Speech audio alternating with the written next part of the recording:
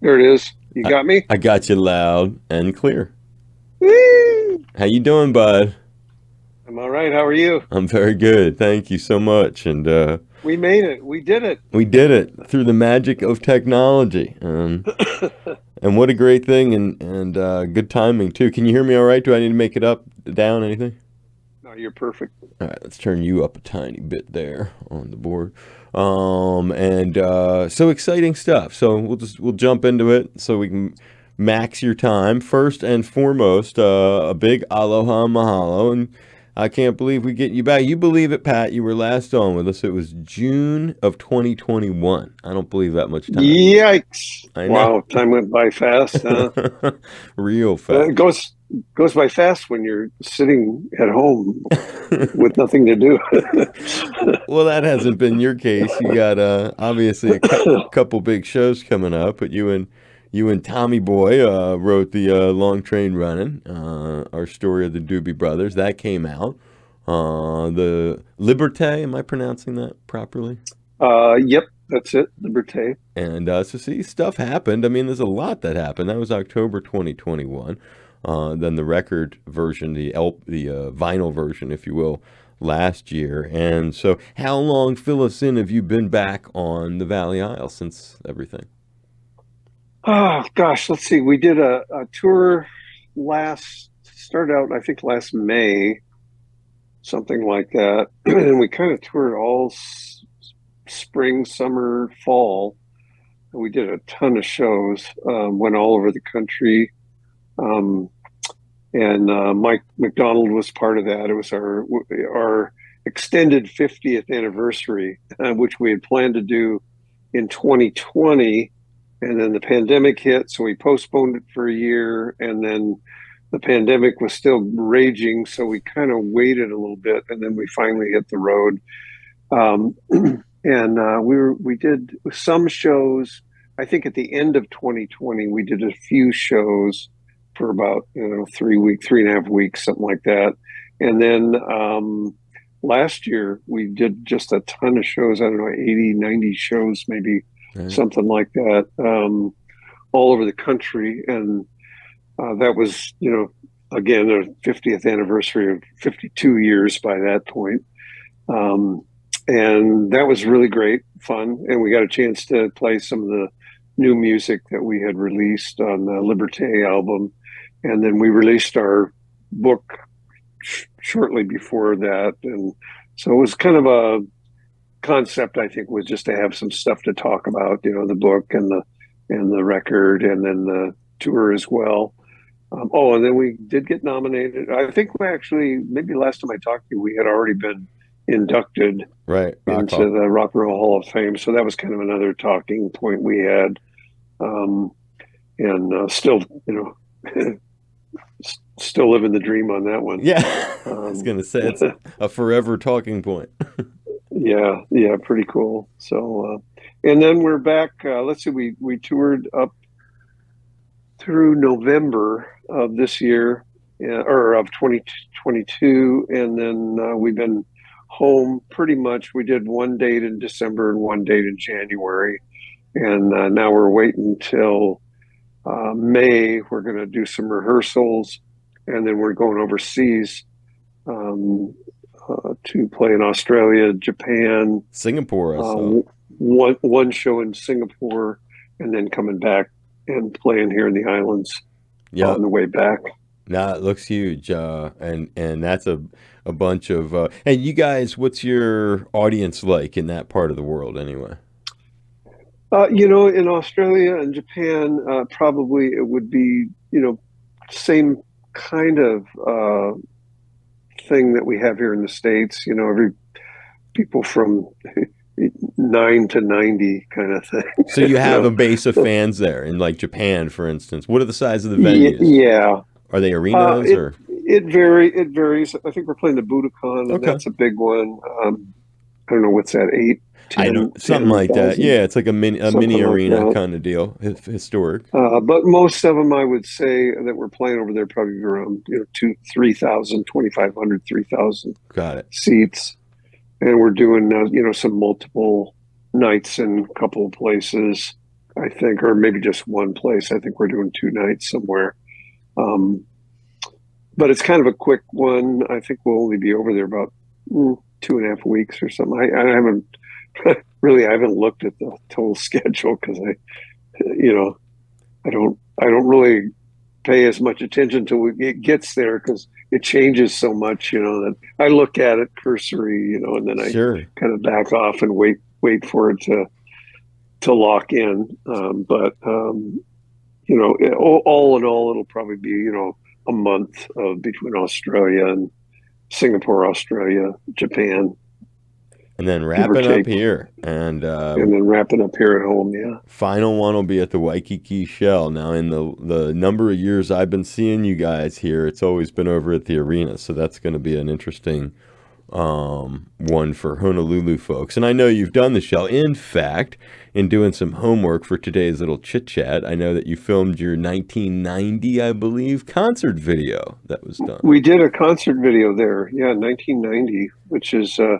kind of interesting because my wife was uh, pregnant with my son at the time, and she he was born, you know, I, I, six months later, something maybe less, wow. less. so uh, that was, you know, like memorable yeah, no, and when you watch that video, you can see the uh, the architecture of the shell is quite distinctive uh, in in the background of that, and uh, and that's great. Now, I was putting together a um, we had uh, Steve the mystery emailer, who you may or may not have heard, because Pat actually being on Maui listens to the show sometimes, and uh, Steve sometimes gives us little tidbits, as you know, about band's history. And yep. he, he, had heard you. Uh, he was talking. He said he was talking about when you were on that last time. I enjoyed listening to your interview with Pat. He mentioned they once did a tour with the Memphis Horns. I checked my files, found the following information you might find interesting. It was May 24th, 1975, Steve writes, that the Doobies played before a sold out crowd at the Blaisdell Arena. It had you. It had Skunk on Jeff Skunk Baxter on guitars, Tiran Porter bass guitar, Billy Payne from Little Feat on keys, John Hartman, Keith Knudsen, and the Memphis Horns. Ticket prices, what a bargain! 750 650 550 Yeah. that was big money in those days. oh, I'm sure it was. Tom didn't play at that concert. He was ill. Any memories of that? Does anything stick out? Uh, I do remember it. Uh, um, I think it was the first time we'd ever uh, played in Hawaii with the Memphis Horns. Uh, we they, we toured with those guys a from lot. around that time period, probably for the next I don't know, let's see, seventy five, at least seven more years. They were with us uh, out on the road, um, and just you know, can't say enough good about them. They were just no. a fabulous. You told great uh, stories about that, about them, and uh, and David Gest. They were fantastic how, how oh God, David, how David he had hooked you guys up with them, and uh, what was the uh, when you did that Blaisdell? I guess when when I was writing this, I remembered that when you did that 2003 show with Isaac Hayes, Chaka Khan, Martha Reeves, you guys, I guess because I asked you, and I'm remembering you didn't get a lot of time with each other because you were kind of busy doing your own things. Is that how it went? You didn't get to hang with Isaac, or did you do anything with him that night? Oh no, I saw. I didn't. We didn't hang so much as just you know walked up. Hey, how, how are you doing? And you know, um, but we were all able to greet each other and, and see each other. We uh, we had done stuff for David in the past, yeah. and he was one of those crazy entrepreneurs that uh, he liked to. Get, you know, get people together, and he, the fact that he um, did work for uh, Willie Mitchell, who was a uh, ran Hi Records down there in in uh, Memphis, it was Al Green's label. Right. And gosh, a bunch, you know, a um, bunch of different people. Anyway, uh, little little Johnny Taylor, a bunch of artists. Um, and uh, so we, he ended up uh, with a lot of those Memphis musicians were on that show. Isaac Hayes being one of them, and uh, Isaac, uh, we had done some shows uh, together in the past. So uh, not together, but you know, on the same bill. On the same bill. And yeah, similar kind of things with David. Uh, David's gig probably. Uh, nobody ever got paid. It was a char- charitable kind of a, a show. Probably, probably uh, Da- David was probably a charity for David. Gonna say. nah, some of the some of the money went to uh, you know some charitable organization. I don't know how much, but That's a good one. but they were great great shows. You know, in fact, that uh, you would see musicians playing together that you would probably never normally see uh, on the same bill. Um, an example, Isaac Hayes and the Doobie Brothers, kind of yeah. unusual pairing. Uh, but uh, God, there was you know um, Martha and the Vandellas. Uh, I can't even remember. There were so many acts. I don't know if you have a list of some of them. Well, I actually, it's so funny. I have a, uh, this is not a David Gest specific one, and certainly last time, folks can always arc, go in our archives, take a listen to Pat's hysterical stories about having to testify with Al Green. I mean, just some really, Oh, yeah. really, uh, Sam and Dave and stuff, and and and he draws a lot of the connections with uh, Willie Mitchell and so forth. But anyway, I did this thing. I was going to do this bit with you, and we'll do it in honor of Steve, the mystery emailer. I'm sure he'll enjoy this. So, I, I spent some time uh, with uh, Patty Boy looking up stuff on you. So I did this classic poster flashback storytelling session we're going to try. So I have this roughly in chronological order, and you'll see if there's any, and we can just go to the next one if none of them have stories, but I'm hoping a few of them might might uh, start you out. So September 1972, it says here is a great poster for this one from your first national tour, New York Academy of Music. The bill was, according to this bill, the headliner was T Rex, middle act was Argent, and the opener, the Doobie Brothers. Oh my gosh. um, no, I told we did a whole tour with uh, Marc Bolan Right. and T Rex, and that was part of that tour.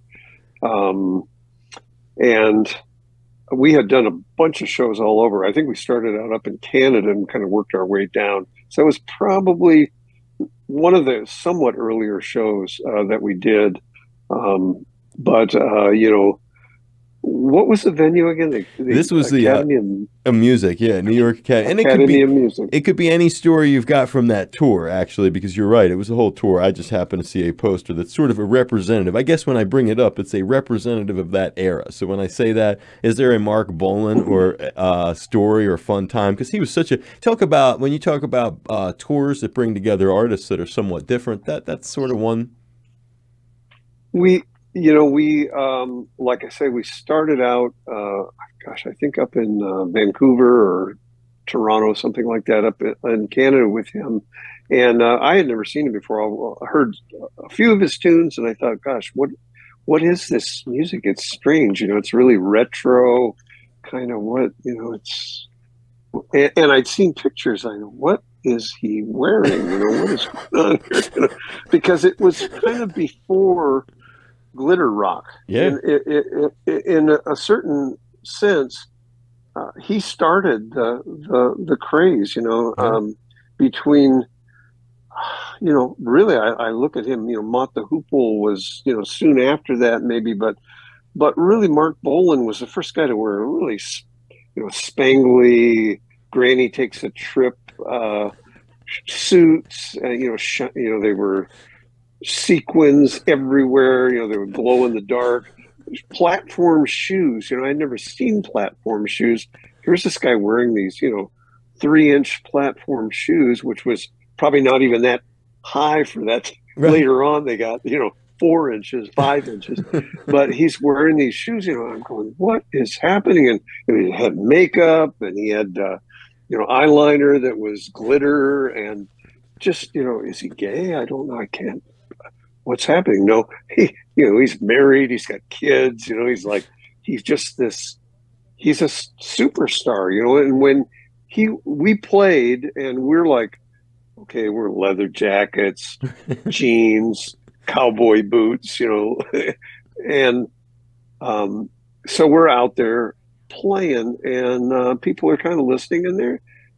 I think we had it was the first uh, time we, we had this song uh, listen to the music Mm. and it was just out had just been kind of out getting a little bit of play on radio and so you know we'd play and people would go eh. then we play listen to the music and they'd go oh it's those guys yay Right. listen we of course wait till the end we'd play our hit and that was the end of the show but we kind of got up on stage we just stand there and play you know and not do anything. Uh, and uh, so Mark comes out and he, you know, he is strutting up and down the stage, and he's got this guitar that's really funny, crazy shape, you know, and uh, and it's you know he's on fire, and the audience is going crazy, and I'm thinking, is this really that good? Is that music? You know, it's like he he didn't really play lead guitar, or what he played was like,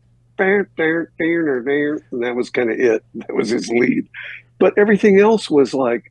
And then he's got a funny band. He's got this guy banging on conga drums. You can't even you can't even hear him, you know.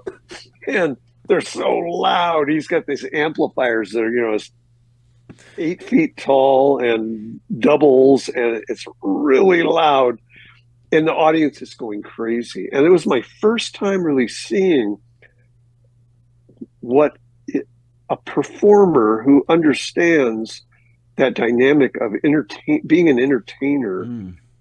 how how much further you can take your music. You know, even if if it's good or bad or otherwise, um, people respond to that. And and so we by the time it was the tour was over, you know, we're measuring ourselves for platform boots and uh, you know they had influenced look, you yeah looking for you know going to uh, jump on jack flash in new york looking for uh, clothes se- sequin coats and stuff you know it changed our whole wow vision of what we sh- how we should be entertaining because people want more you know they're paying in, they're paying a whole seven fifty to eight dollars for a ticket. You know, they want to be entertained. So w- by the time it was over, we were uh, we had really great clothes and uh, cool shoes, and you know we we knew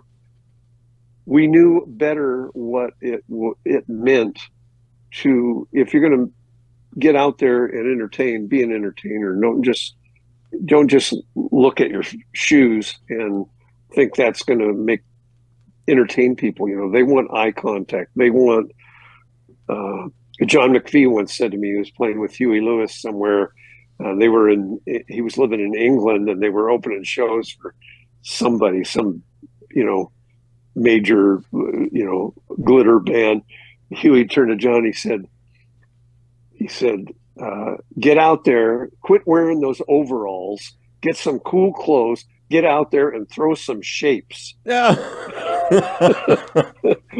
and that was, you know, that was the beginning of John's, you know, they were, they were working with, uh, soon after that, they were working with Elvis Costello, working with him, but, you know, they realized that it was time to, you got to step up and, and be, a, you know, give the audience a little more than just, you know, standing out there playing. They want, they want interaction with the, the performer. You know, they want to know that they're important to, you know, what you're doing up there. And they are, you know, the audience is, it's part of the whole vibe and dynamic of, of music that uh, they want to be a part of it. And, you know, you, you owe it, I think an entertainer owes it to his, their audience to draw them into what you're doing so that it's, you know, they're a part of it and and and they feel like you know you appreciate them as much as as uh, they appreciate you you know? No totally. And that's the way that that we learned that from marc bolan i mean we learned that from day one. I saw him and we went we need to be better performers because look at this guy you know. What a great story for for radio too because uh for fans who i mean for any every time people hear bang a gong they won't always have that connection to the doobie brothers because of the influence that band uh had had on you which no i've never heard you uh illustrate in such a way. It's funny when you talk about that connection too with the audience and and the value. Uh, I don't know. We just had Ozzy on. Uh, did you hear Ozzy when he was on the other day? Oh, no, I didn't. And no, he, uh-uh. just talking about that connection to the audience and and the uh, the way that it, it really uh, I I just it made me think of him just because he's obviously has that same yeah. sort of very strong. Yeah, perfect, per- perfect example yeah. of someone who appreciates you know what he's doing and, and what the audience gives back. Yeah, right, and that has a huge connection uh, with them. Funny enough, um, when we go through your history books, uh, it was only a few months later in December you were back in New York, but at Madison Square Garden, and that one you were headlining, I guess, at. So I think that when that listen to the music was happening, boy, you talk about, I guess the. Um, the quick route that stuff would affect your like one minute you're opening and a few months later you're headlining? Crazy stuff yeah. It that, uh, it it happened pretty fast. I i think scared us a little. But is that yeah. accurate? You were just three months later you're back there as a headline act uh, you had been opening for argent and t-rex at the at the new york academy of music and then in december you're back at MSG? I mean, and do you remember that? I mean, I would imagine that would have been a little bit frightening to go into that venue. I, I don't remember that. Okay, well that's cool. That we, says a lot. You know, we, we, we played there a few times. The the, the most memorable uh, Madison Square Garden gig for me was with uh, Lynyrd Skynyrd. Oh wow! Was, uh, that, that's that's the one I remember. Um, you know, we played there a couple of times. It's you know, you play those big places and uh, you, you kind of you don't lose it totally but you, it's harder to be connect with your audience because it, they're big the audience is a ways away uh, the lights are in your face sure. and so on so um, kind of forget uh, because you play a few of those places and then pretty soon they kind of like All well it's a big stage with lights and you can't see the audience. Yeah, you know? no, they must so, they must all blend together, especially the arenas. Uh, but uh, but how about Knebworth seventy five, Pat? That's in the United Kingdom. Allmans, Van Morrison, Doobies, Mahavishnu Orchestra, Tim Buckley. Do you remember that one? I totally remember that. Um, it was uh, you know people as far as you could see. You know, it was that the Woodstock effect. You know, right. it's like uh, you know, di- digital crowd increase. You know, you look, you can't see the end of the crowd. They're out there, and then it's a medieval vibe because of the everybody's got their flags on poles and colored, and they're streaming in the wind, and uh, and then you're you know you're out there with really a lot of uh, well, Van Morrison being a good example of a of a European entertainer and Hawk, Hawkwind, those kind of people that were playing. Um, so it's much more international kind of a vibe. Um, I'm trying to think. Uh, Focus, I think they. I don't know. Focus was on that gig. We played with them a few times. Remember Focus? Oh yeah, Dutch band. Totally, totally. The, the, the Yodelers, amazing band. um, but those are the kind of bands that uh, I remember on that gig. And then afterwards, uh, we finished, and I started uh, talking. I don't know who it was. It was Van Morrison's drummer. I couldn't tell you who who who was playing drums at that time. If somebody said his name, I'd probably remember. But uh, he said, "Hey, hi, Mike. What are you doing after the after the show?" I go, uh, uh, we're you know we're staying here in, in London. We're we're going back to London. We're going to hang out. Oh, well, you should come over to my place. You know, we'll hang out." And so, so he he had his car there. He goes, I'll just jump in. Let's go. so he took me out somewhere. Uh, I want to say Surrey, out in Surrey somewhere, uh, outside London, and we went to his house, and it was. You know, I can I can't really remember, but sure. I remember big big high ceilings and a, a really cool old place out there, and just you know hung out and listened to music and talked, and I'm sure we were smoking some funny something. Willie's Reserve. And, and, we stayed there. Yeah, and I, he, I hung out there till like past midnight, and then he finally drove me back into town. But um, you know, it was like one of those. Wow, I'm out here with Van Morrison Strummer. This is so cool, you know. I can't remember who was there. I mean, sure. I know his wife was there. no, but you some other you appreciate people, you know. that, and that's what's what's hip. I was saying that like there's going to be some of these you're definitely going to uh, Cow Palace opening for the Stones in '76. The following uh, year, I guess it was. Now, were you doing a whole thing, or was that just a one-off? What was that? Can't remember. You can't. That, that's a storied I, career, folks. This guy opens for the Stones, or did the show not happen? Was it scheduled and it didn't happen? Uh, I don't think we, that happened. Okay, Cow Palace. My- it says. My my recollection uh, of uh, I don't think that happened. Okay. I think that's uh, well, but it could have well, I would hope you would remember day on the green. 'Cause- You remember the because day? if I re- if I if I remembered it, it probably didn't happen. yeah.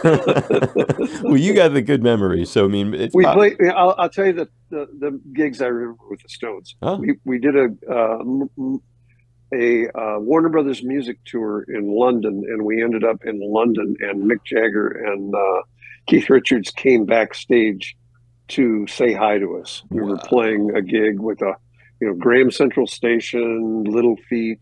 I think they were probably there more to see Little Feat than they were there to see us. But they came back by. They said hi, and Keith was with uh, Anita Pallenberg, and they came back and and everywhere we played there, they set all the dressing rooms up for all the musicians with all the booze you could possibly drink. You know, scotch, cognac, tequila, everything imaginable. And we drank a little bit, but not. We were huge drinkers. So we went and played. We came back to the dressing room. All the booze was gone, and so was Keith and Mick and Anita. and then we played again with them uh, in New Orleans. I remember that gig. That was another gig With uh, Van- we opened for them. with Van. It was uh, Stones, Doobie, with Van Halen. Wow, Superdome. And that was a great. That was a great. That was amazing because I was really able to hang and and watch them play. They've. I'll tell you, those guys are the nicest guys. The Stones. Right. They're just no. They don't put on any airs. You know, they come out and to they come towards you and greet you and grab your hand, and they're just good good people. They're real music people and uh, real people. You know, if you will. oh man, So that was that's my memory of them. Uh, sometimes musicians are, you know, they don't want to, you don't, they don't want to be looked at. They don't want to be touched. right, right, but not them. not the stone. no, not that's a great memory. And and uh, VH was that the first time that you uh, was that? How many times have you shared the bill with Van Halen? Oh, Van Halen. Um, More than that? I don't know more than that. Okay. Uh, yeah, uh, on uh, I've known those guys because Ted, Ted Templeman Yeah, VH. was their producer and our producer, and I used to go to their sessions and, and watch them play, and, and vice versa. Uh, they would show up occasionally at our sessions, and uh, you know, David Lee Roth is like, there's only one David Lee Roth, I'll tell you that. yeah, he likes some cool music too. I remember listening to some of those uh, the bootlegs of Van Halen in the mid '70s when they would cover funk, and he was really into James Brown and Kool and the Gang and stuff. So they were they were actually coming to your so like uh, Eddie Van Halen, David Lee Roth were just stopping in. Not not a lot, but they did come by. Yeah, sure. Um, Da- David, I saw more than once, uh, and I really like him. He's uh, Well, Any memories He's or just- stories? well, just every time you see him, it's it's it's what everybody else sees. you know, he he starts talking, and everything he starts talking about leads to something else and stories, and he just he doesn't really stop talking. You know, he just keeps going. But everything about him is uh, he's a genuine guy. You know, he's a genuine character, and uh, and I love you know this the music he's done through the years. I just think he's done. So I love his solo stuff uh, as much, uh, just about as the stuff. Oh, I, I I like Van Halen. So Oh, yeah. say that, but but I, I loved uh, you know the California uh, Girls. Girls and um, I'm just a gigolo. That stuff I love that. You know, I just thought he was very clever and uh, and uh, again a genuine person. You know, he is what he seems to be always.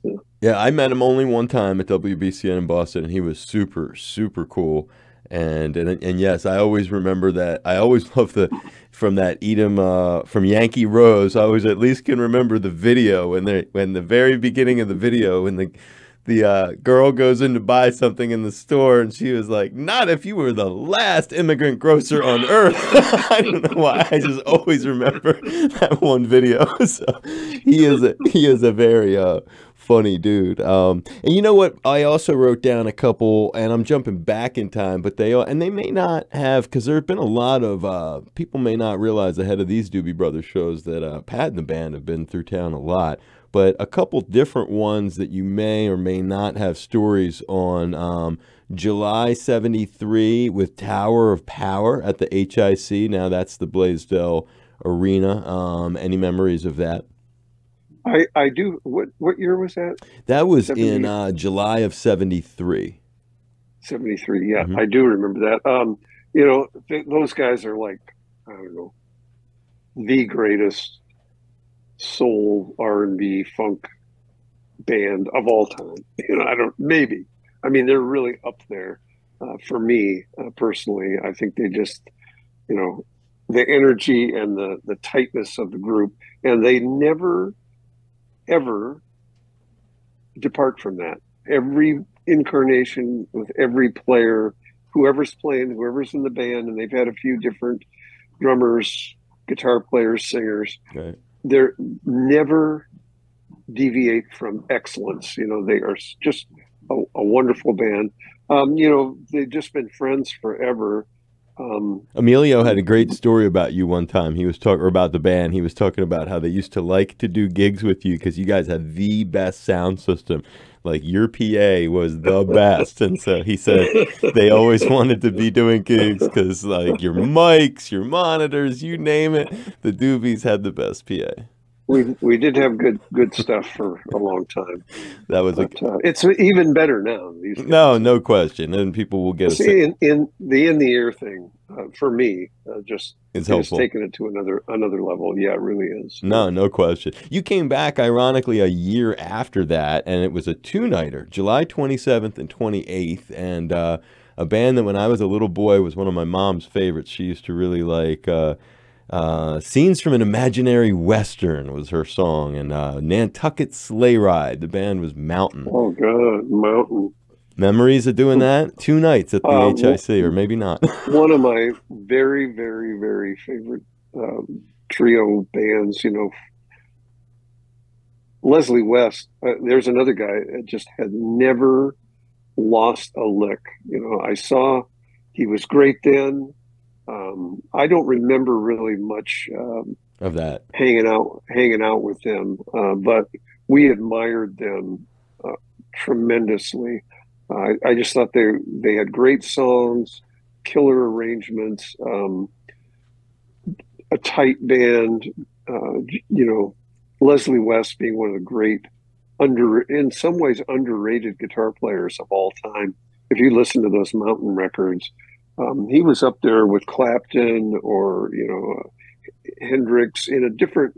He had his own mode of mm-hmm. playing certainly, but but he was really up there in terms of his ability. And um, I never heard him play a sour note on anything he ever played. You know what I mean? Sometimes you miss the fret and you you you play the wrong note, and then you have to play it again to cover it up. Right. You, you know, it was never that way with him. He was so on all the time. I saw him play in Maui like years, years later. Um, he came here with some, you know, uh, um, a whole bunch of other musicians to play. They were on the road. Uh, Paul Kantner, he played. Leslie played. I think Jeff Baxter played. Um, can't remember who all the musicians were, but uh, uh they all got up and and did a few songs. And leslie west was like the last guy on stage and i thought what's this going to be like? And he had he had lost all the weight. 200 pounds right. so he got real thin. And uh, i go what's this going to be like? He got up there he plugged in. It was like he was 18 years old. He sang like amazing and he played exactly like he always did with that energy and that tone. I was just like, oh my God, this guy, where's he been? You know, he should be a, a superstar. You know, there's a few guys like that. Dave Mason is another guy. You hear Dave play, you just go, holy crap. He sings like, you know, David Crosby was another one. Their voices, they never aged. Their voices never aged. They sing, Dave Mason sings arguably better now than he did when he was playing with traffic. You know, I mean, just amazing. And his guitar playing, of course, has matured monumentally. And you, but, you um, played a lot with him, uh, FYI, when I was looking at uh, at, at the classic uh, posters and stuff there. But on the David, you mentioned David Crosby, and we just lost him recently, not that long back. Is there any? Did you ever have any stories, interactions, run-ins, fun with him? I say this.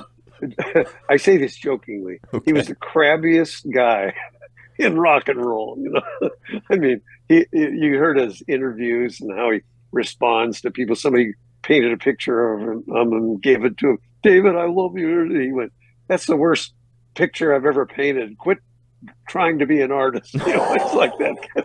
He's he was a character. You know, yeah, he was very nice to me, and we, you know, we got along. But I didn't really.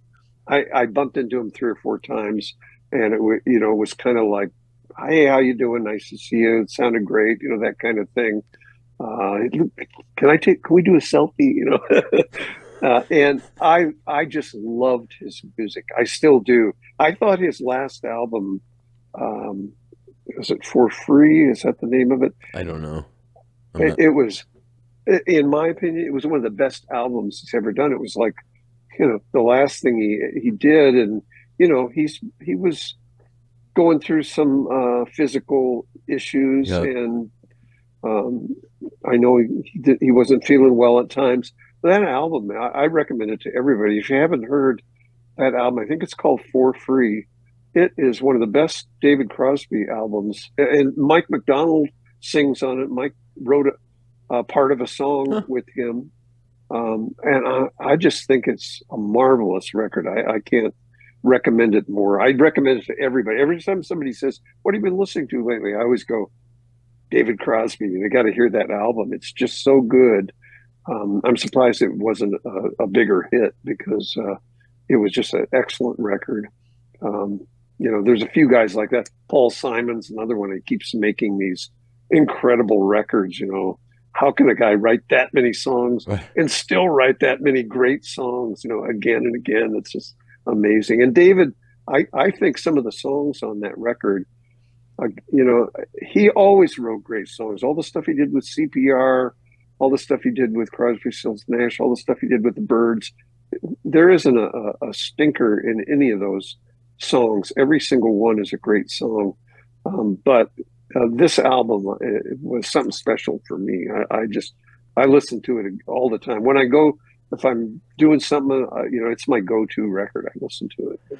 a, a wide range of evangelizing today from Mr. Simmons, whether it's uh, oh, sorry, whe- get whe- carried away. No, I love it. Whether it's T Rex or David Crosby, you found something that uh, draws a connection to uh, to Pat. So David Crosby actually, believe it or not, factors into at the time was a really big thing. Uh, Doobie Brothers have been involved in a lot of big things, and certainly benefits have not been a, uh, a stranger to you. And you did the stuff here, uh, Kokua for Japan, and, and going way back, the No Nukes concerts. Again, thinking of David Crosby, 1979, Madison Square Garden. It's Bruce Springsteen, Jackson Browne, Crosby, Stills and Nash, Gil Scott Heron, Carly Simon, Bonnie Raitt, yourselves.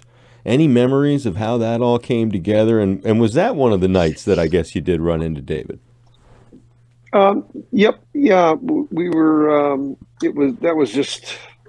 I'm trying to think. Uh, you know, the original concept for that uh, really came from Jackson Browne and uh, Bonnie Raitt and and Jackson were really kind of the spearhead of that whole thing, and a guy named John Hall. Who was in a band called Orleans? I think Yeah. it was Orleans. Does that make sense? That Uh, yeah. sounds like it. and uh, and so they came to us, and I think they probably spoke to everyone else to to get them involved in it. We said, sure, of course, right off the bat, uh, we were, you know, wanted to be a part of it, and uh, we all went to New York, and we were there for a couple of days before the show, and we had talked. You know, we were good friends with Bonnie and uh, and Jackson both, so uh, we sort of kept in touch and what's going on, how's this coming, you know, what what part do you want us to play, and so on. and then we all went to New York and we rehearsed. Uh, we met you know, we'd get together and all the bands would kind of get together some location. I can't remember some re- rehearsal area. And then uh, we would talk, you know, and just say, well, what do you go? What about this? What about that? What are your ideas? Uh, what do you want to do here? What do you want to do there? And it was kind of interesting because they had options of uh, going forward with things. Uh, they, they it's kind of an off the wall location to have something like that in the city in Madison Square Garden. So we're trying to uh, raise as much awareness and uh, have the budget to do it all and not lose money and not uh, and actually make some money to contribute uh, towards some of these uh, non-polluting uh, energy resources. And so we had you know over a period of a couple of days we had meetings with everybody and everybody would just sit around and somebody would say you know put a something forward and then uh, we would comment on it and argue about it stuff you know and uh, eventually you know we and then as it got near the end then we had a rehearsal okay we want to do this song of john hall's which i think was uh, the what was the name of the song? It was called uh, not the warm spirit of the sun. That was one of the lyrics, but uh, okay. T- take your you know take this poison energy away. That was kind of part of the the of the chorus, you know, and uh, so we did John's song, and then. Uh, we did another song, somebody else's tune, and then at the they wanted for the the very end of the concert to do "Taking It to the Streets," which was our song, which was anthemic sure. song, and everybody wanted to participate and sing verses. I think James sang a verse, and and Mike sang a verse, and uh, uh, you know I can't remember who else, uh, maybe Bonnie or, or Jackson, but uh, and so we did that, and that was it. It was thrilling for me because you know I'm on the stage with my idols, you know, all these singing your tune. Uh, yeah, that I really admired doing one of the Doobie Brothers songs. We played a set. Everybody played a short set. I think we, you know, twenty minutes, half an hour kind of thing, to you know make it move along. And then uh, and then James and Carly were kind of the, you know, they kind of were there and then they were gone and then they came back. So they were kind of featured uh, a little bit. James did a little set and then and then uh, Carly came on and sang with him, and uh, it was just a really family kind of a, you know, gr- good feeling. You know, um, a lot of camaraderie, and we afterwards we all we went to a club and hung out, and everybody, you know, kind of jammed and and just, you know, just really a great, great thing. We, you know, we went out to eat. Uh, different nights with different people while we were there, and it, it was really fun. You know, it was really something special. I think. And you played, played with Bruce. was a what? What's that? You had played with Bruce. Was that one of the only times that Bruce Springsteen? You know, we never we never really uh, interacted. I don't even know. I don't think we were even on the same night. As, okay. I think it went for two nights. Got it. That's my recollection. And Bruce played on a different night than we played, and I did not see him play that night. Okay. I, I've seen him play other nights, but you know just going to his shows and stuff. But uh, I did not see him that night. But uh, I think some of the acts, I think it, maybe it was a two night show. So by the time we got to the end, um, we did we did the song all together. But I can't, you know. I'm sorry, Dave. Again, no, you know, it's cool. It may have only been it may have only been one night, and Bruce played earlier. That's probably how it went down because I doesn't make sense that we would have done two nights there. I think it was just one night. I think maybe Bruce played early in the evening and left or something like that. Okay, because he wasn't on taking it. You're saying he did not do the All Star take. I don't. Re- I don't think so. How about uh, in the same year, entirely different show, and this is one that really made made me laugh. Uh, it's kind of like the one with uh, VH on the bill. Um, this was May '79, the Tangerine Bowl in Orlando, and it says here Boston was the headliner. Doobie Brothers, Poco, and ACDC. Is that how it went? Wow. You remember that? That's pretty. That's pretty eclectic. Uh, you know, va- vaguely. Uh, uh, I probably remember Poco more because I was friends with uh, those guys, and Okay. uh, Rusty Young and I Sure. uh, became really good good friends. I ended up playing in a band with Rusty for Yeah. a while. That's right. Um, Tangerine Dream. I don't remember No, that. no, it was uh, it wasn't. Ta- it was Tangerine Bowl. oh, it was a Tangerine Bowl. I think Yeah, that yeah, was yeah, just a bit. Well, that's okay. Well, here's a couple though that I bet this is. a I little- do. I think I do remember ACDC playing and just going, "Oh my god, Right. these guys are like strong." You know, really That's a word. one of my all-time favorite uh, rock bands. You know, Well, with that that biker connection you got, I can't imagine that that wouldn't be in the uh, in the Oh. mix. There's a couple of big stadium dates that uh, I would say, well, actually three that are all close to home in terms of Pat's. Uh, even though Pat's a, a Valley Isle cat these days, he's of course known for his strong Northern California Bay Area connections. And there was a uh, 75 day on the green. The late great Bill. Bill uh, Graham would do these shows, put a lot of, of bands together. This was June 75. Doobie Brothers, it looks like headlined over the Eagles, Commander Cody, and you even had Bobby Weir from the Grateful Dead with Kingfish. Memories? wow. Um, I didn't remember headlining. we probably. I. I, I kind of think we did because. Um, my recollection is Elton John showed up at that gig and he got up on stage and jammed with the Eagles and, and I was going, wow, how are we going to top that? You know, we got to not only we got to follow the Eagles, which really sucks. Uh, we got to follow the Eagles with Elton John. It'll never.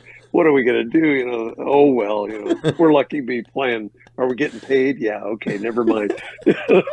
so so Elton comes backstage. Uh, we had played with Elton before, or you know, we jammed with Elton years before. I think on that, that one I was talking about, where the Stones showed up, the the Warner Brothers music tour. Right.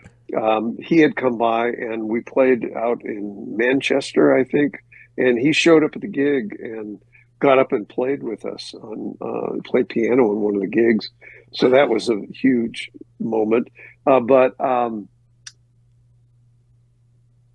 um, that anyway, he got up and, and jammed with the Eagles. So then, you know, I, I was kind of fretting about, oh man, gotta follow these guys. It's going to be tough.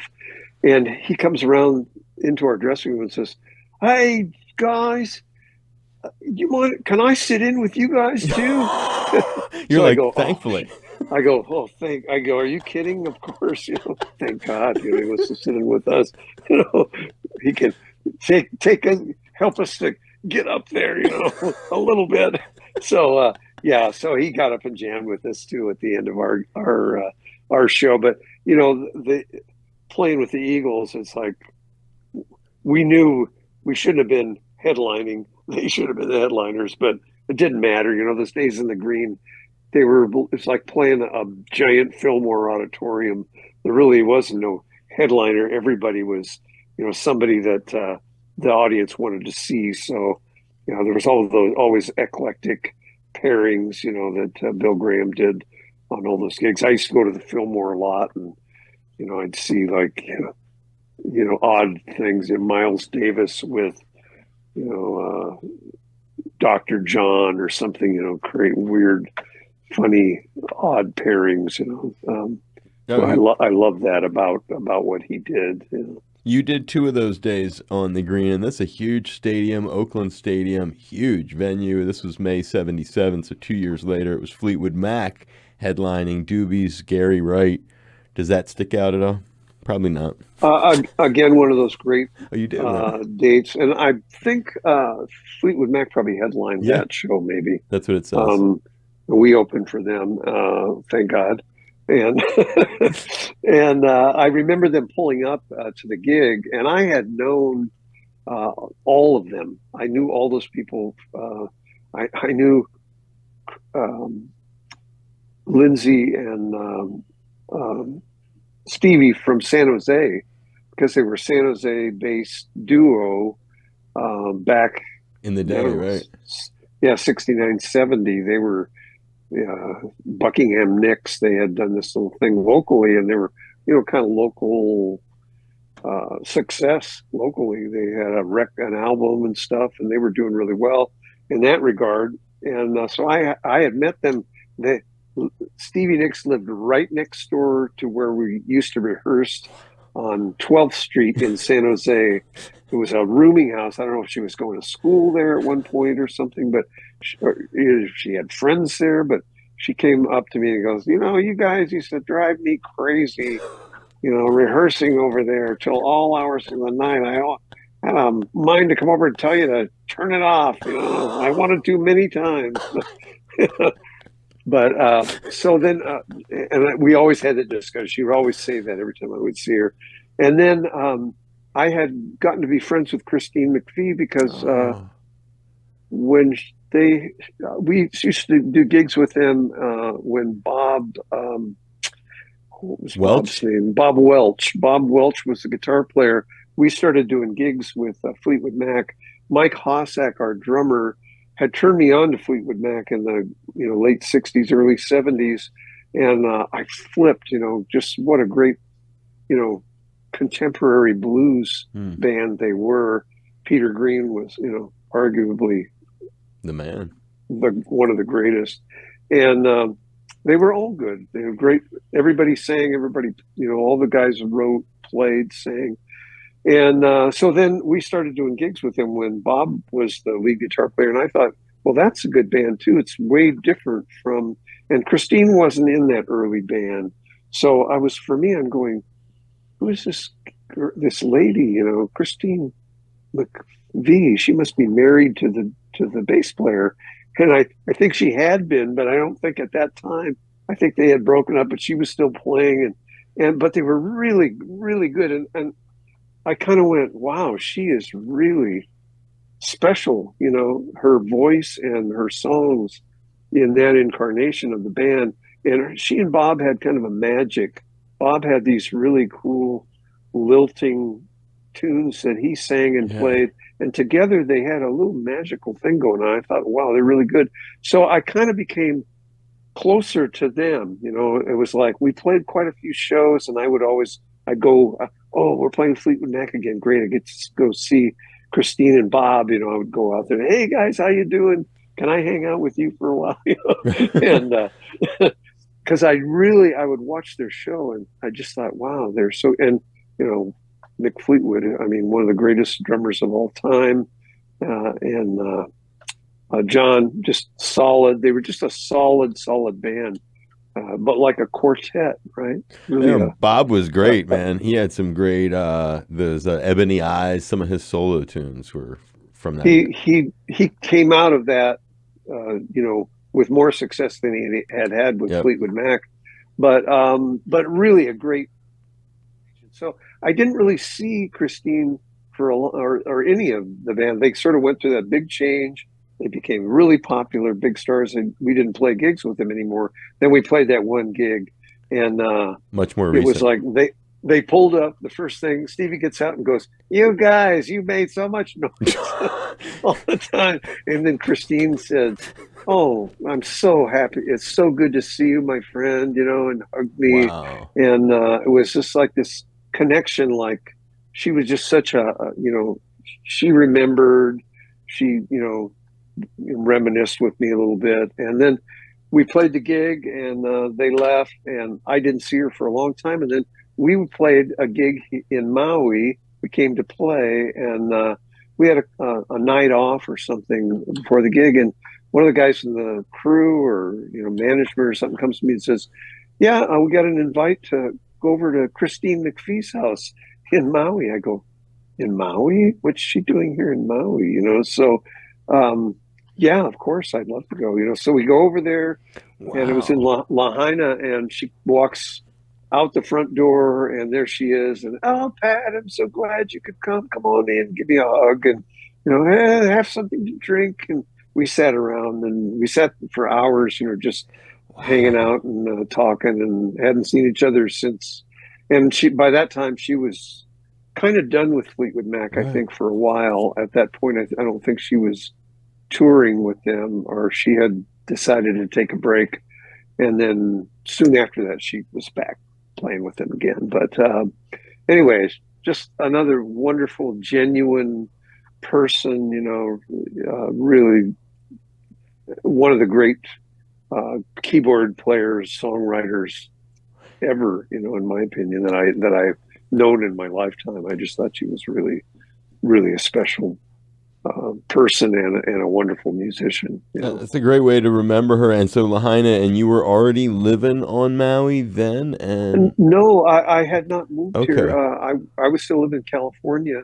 We were just came to play. I think we were Okay. playing the tennis courts over in uh, Lahaina. you know, over in Lahaina, where they it was before they had built the the Maui Arts and Cultural Center, so that was the go to place where they had gigs out there by the by the Royal Lahaina and uh, the tennis courts, and uh, just you know, so wonderful. You know, it was just uh, um, a memory that I'll carry with me Oh, forever. You For know? sure. So never crossing paths with her again. Then I guess is what I'm. Uh, No, that was kind of that was it as far as I recall. I think it was the last time I, I saw her yeah, in person. and, and- it's funny because John came was there, and uh, they weren't even married anymore. And he came walking through the house. Oh hi, hi guys, and walked through and walked out. how wild! And then he ended up living in the Honolulu area at some point years later. Uh, yeah, I think maybe they owned that house, or maybe she and John and Mick all owned that place together, or something at one point. I don't know. Mick may still uh, have a house over there, but uh, yeah, I I know he still has.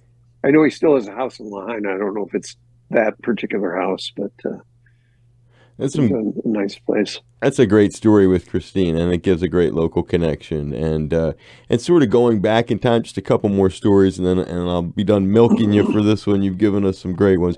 There there is a, another stadium show, and um, and not picking this because of the All Star cast. Uh, but it's a, when you when you look at this 1975 Kezar Stadium, it's the San Francisco Snack Benefit Concerts. Now I've heard about this Oh, yeah. from uh, Pete Sears because I remember he played. I believe he backed uh, Jerry at that. But it's Jerry Garcia, The Miracles, Santana, Joan Baez, Tower of Power, Jefferson Starship, Neil Young, yourselves. And when I mention it, is there any fun memories, stories, anything that comes to mind about that remarkable gathering? we were so thrilled to be a part of that because of all those people that you mentioned. You know, um, Bill uh, would often pull bands together to do benefits and and just you know, one-off gigs here and there and everything. And um, that was uh, to benefit. Um, you know the arts for the community, I, I believe, for the Bay Area, Mm. and uh, sports and, and the arts and so on, which uh, they were pulling uh, at that time. You know, the the budgets were all getting carved out. Um, you know, problems with revenue for the for the school district. So uh, it, it's still reverberations of that everywhere, of Sure. course. Uh, but uh, Bill had stepped forward to generate this, have these this concert, and uh, you know, it was like, wow, this is so eclectic. And uh, I remember, you know, hanging out backstage with Marlon Brando. We're like looking over going, that's Marlon Brando. And our drummers over there, John, you know, Hartman's going, yeah, well, you know, I used to do some acting. he was like, you know, no, he was such a poser. Great, a good po in, in a good way. but, um, and all the, you know, Bob Dylan, all the people that were there was just like phenomenal show and just, you know, such an honor to be a part of that. And then it was in an odd place, you know, Kezar Stadium is kind of in the middle of San Francisco. It's, I think you can, if you're standing in the upstairs in a building in the in San Francisco Hospital, you can look out and you can look down there and see Kezar Stadium. And it's like in a neighborhood. It sits, eh, eh, you know, which is kind of crazy because you know there's houses all around it and everything, and uh, they're bl- blasting rock and roll music off the rooftops here. But uh, so it was really a, a wonderful event, you know, and and they did raise a, a good amount of money for the community. I think it was, you know, uh, a real great positive gesture on Bill Graham's part. Not that he didn't do that over and over and over again Sure. for the for the Bay Area. He was like one of the great uh, go-to people. If he had something you wanted to do to raise money, he was just you know always trying to help people. He was just a wonderful guy, and uh, I can't say enough good about him. You know, as uh, there's another one of the crankiest men in rock and roll. You know? but man, he was uh, just really a wonderful guy. You know what what a good heart for the community. Was that one of the only uh, Jerry? How many other times were you and Jerry Garcia and or the Dead on the same? Uh... Not a lot. Uh, we played a few times with the Dead uh, through the years. Um, a few times with Bob. Uh, we played uh, Clinton, Bill Clinton's inaugural right. party with uh, Bob Weir and Rat Dog. That was a, a trip. sure, he had a lot of him. Kind of, Fleetwood Mac too actually did one of those. Um, yeah, yeah, one of those gigs. Bonnie, Bonnie was in the next room playing. Uh, we were playing. She was over there playing. Yeah, he had all um, the classic rock uh, bands. And yeah, stuff. he loved. He was a he was a music guy. Right, with his sax and stuff. I, I remember. That. Yeah. and uh, and one of your final ones here uh, the, that I was uh, we have a, a, mountain of these, and I, I don't want to wear them all out because next time we have Pat on, I got to have more stuff for him. But there's uh, I was recently watching because we I, I, told you we had Ozzy on the show, so I was studying up, and and um, one of the things I was reviewing was when Black Sabbath played in 1975 on the uh, Don Kirshner's rock concert television program, and uh, certainly remarkable to watch them on that. It was filmed in Santa Monica that one, and I happened to, in studying for this chat with our uh, Doobie Brothers guest here today, Pat Simmons 1973, the debut, it says here, of Don Kirshner's rock concert on television actually featured you guys. I remember. I think Edgar Winter might have been on that too. It seems to me. Um, what's her name? Oh, shoot! Oh. senior moment. Senior moment here. Uh, uh, you thinking of a band? What are you thinking of? Yeah, um, R and B soul band um, that was on the same night when you guys did it. Uh, I believe so. We we record what what that what the deal was. Uh, I believe we recorded that in Madison Square Garden at about four thirty in the morning. Uh, Don Kirshner had gotten, you know, the the go ahead to to present this show. It, it was taped or filmed. I don't know if they had tape in those days. It probably was filmed. Maybe they had tape. They must have had tape, but they taped it anyway. And uh, we played live, uh, and it was uh, on the stage, Madison Square Garden. I think we only played one or two songs, maybe. Um, Edgar Winter uh, played, I believe, and uh,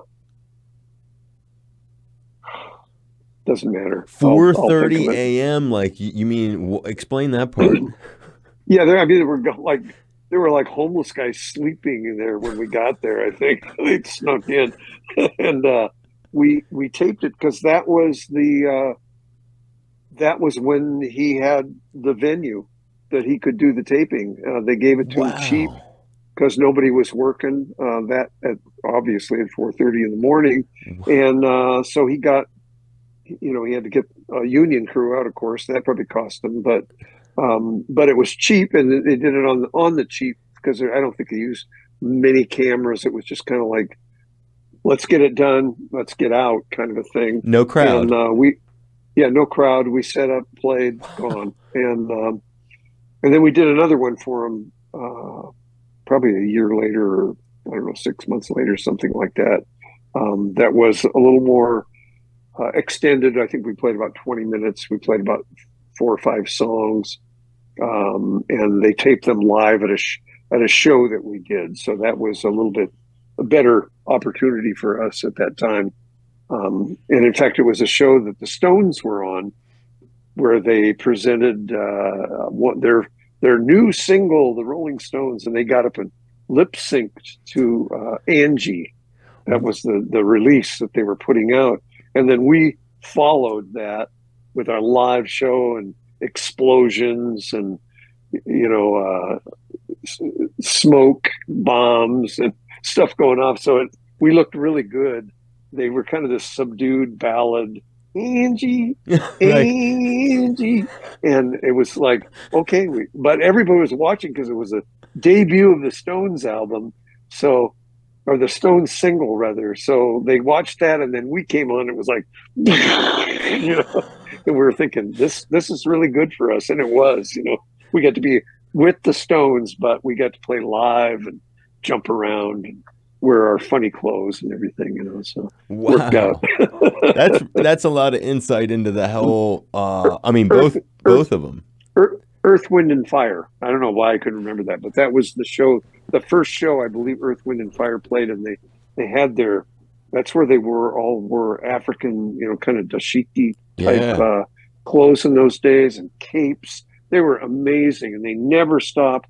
And the they I don't know if they had a fans up there that moved their clothes around, but they were fabulous. And they played just like they always played fantastic, great you know, horns and super funky. But then they had that thing, that visual thing going on in those days. It was like nobody else was doing. You know? Yeah, that was the MSG one, the fir- the debut, uh, the debut Don Kirshner show, basically that you're talking about. That's the one that had. You were. Is that the one that the one you're describing that had Earth, Wind, and Fire? That that's my memory that they played on that show too, and I think they played late at night too. Is that you know we all ended up there doing this fast taping in Madison Square Garden. yeah, I love that. I mean, that's what I mean about the for fans to think. I mean, those are the business logistics that people. It, it was the first show of its kind where bands uh, that I recall. You know, there was, you know, uh, American Bandstand. Everybody lip synced to the songs.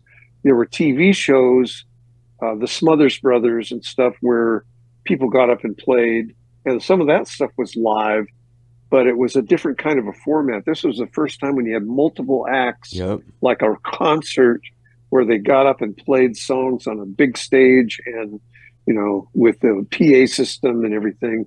And uh, it was broadcast. So that was, it was pretty, it was a, a moment, you know, we were just like, wow, how'd we, how, you know, how do we fall into this. This is fabulous. Yeah, so. that was a historic show. It's good that you put that out there. I was going to have to explain that for the audience. Yeah, Don Kirshner's rock concert, a, a historic early uh, rock concert television program that uh, introduced uh, a lot of people to many bands and and was b- way before the era of MTV or a lot of the visual promotion uh, that would come later. And funny enough, that you would be there, part of the debut of that and uh, and and a historic thing. It's kind of like your uh, thing that you did with uh, the What's Happening years later when the Doobie Brothers again made history, being really featured in a plot line on a show, and and uh, so when they they load into town for these concerts, there's a whole lot of history, and and you can make sure, perhaps, folks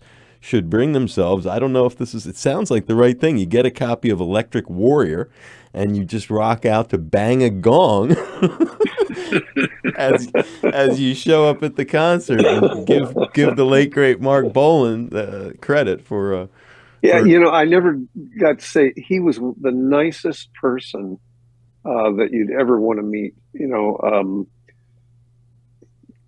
he uh, he was always gracious and you know used to come and say hi and you know not one of those stuck up kind of people, um, and um, just treated us with ultimate respect. And we, you know, we gave it back. He was just a wonderful guy.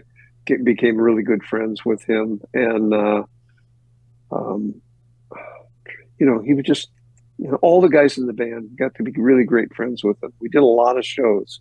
I think you know, twenty or thirty shows at least, and so we got to know them really well every night. And uh, just uh, you know great memories of, of that era and it was uh, that was our first big tour we did mm-hmm. one tour prior mother to earth. that with uh, mother mother earth right.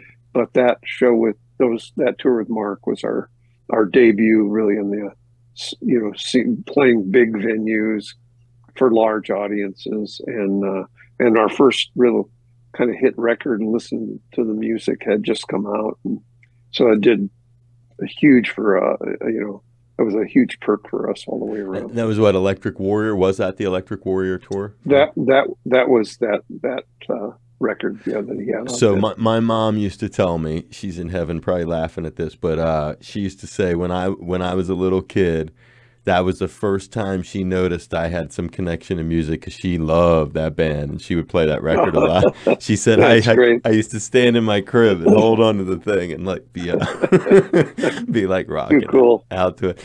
All right, so we wrap up with anyone that I did not mention that you thought of that you thought, oh, he never did ask about that. If there's any one guy, that's your final question because I asked you a lot of cool stories and we went through a lot of posters. And uh, is there one any one guy I failed to mention that, or tour or show that just sticks out as like a, a real fun uh, fun part of Doobie Brothers history?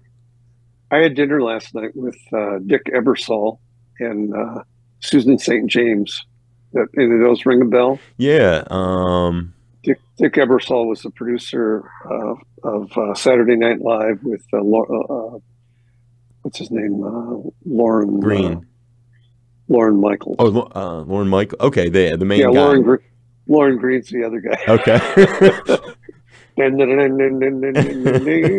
and who is that? Who is the woman and the other? Uh, and Susan, Susan St. James used to have uh, a couple of television shows Yeah. on uh, I remember that. uh, name. Macmill- McMillan and Wife with uh, Rock Hudson, and uh, she and Dick are married. But uh, I had to throw that in there because, again, two of the most wonderful piece, people on the face of the earth, uh, Susan and Dick, and all the sports fans know who Dick is. Dick's the one that uh, started, uh, you know, with Fox uh, from Monday Night Football. I believe that's uh, that was Dick's. Uh, invention among other things he did a lot of things in sports uh, Saturday Night Live. He was, you know, early the Saturday Night Live.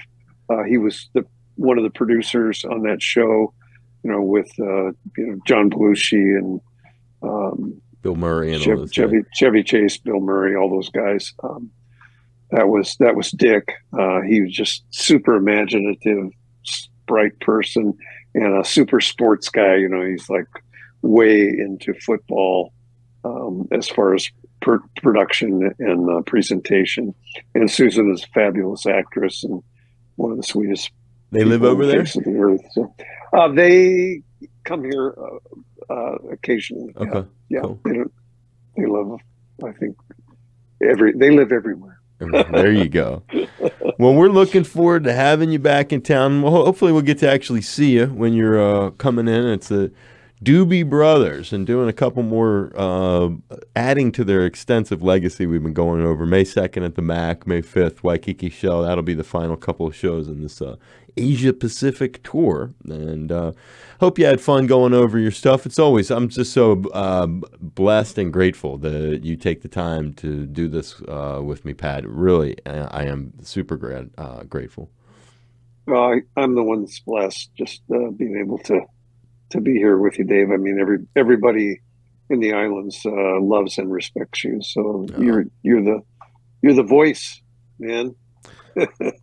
Bless you, I'm, brother. oh, I'm supposed, uh, and I, I he didn't say for this. He doesn't know I'm doing this interview, but uh, Hutch Hutchinson always wants me to say if I ever talk to you, you know, he wants me to say hi to you, Hutch. Ah, Uh, right on. you know, you're you're one you're one of his favorites. So wanted you to know that. Well, that's awesome. We'll be looking for him. Thank you for that. We're looking for him with the Bonnie uh, thing that's yeah, coming. they're they're they're coming over pretty quick actually. Yep. And, May uh, May I think. Yeah. Well, I'll be looking for you. Hopefully, uh, we'll see you at the thing. I give you a big hug and high five, and and uh, and that'll be great to see you at the Waikiki show and and a different sort of uh, a venue for me for uh, for you. And I was I was reflecting. I was telling my boss Bill, who used to work for CNN and Bloomberg and stuff. He was he used to work in D.C. My first Doobie show was at the uh, Merriweather Post Pavilion, Oh yeah. 1989. That was my first. One. That place got pretty wild Yeah. sometimes. Ah, those are memories. There are aspects of that story. We'll just we'll we'll leave it there. yeah, we'll come back to that one. I, I have a story from from that uh, venue that I can tell you about. Love it. Well, great to have you on. Say hi to Chris and uh, fabulous wife, and also your son Pat Jr. and uh, and we'll see you soon, bud. hey, appreciate it, Dave. Good to good to see you and hear you, and uh, Same. I'll, uh, and and loved your uh, rappel this year. Way to go! Thank you for all the support of that. That's it. You're very very generous, and that's the best feeling in the world to go up there and do that. You're scaring the hell out of me, man. Stay safe, my brother, and I'll see you soon. You too. Take care. Really appreciate it. Aloha. Aloha. Aloha.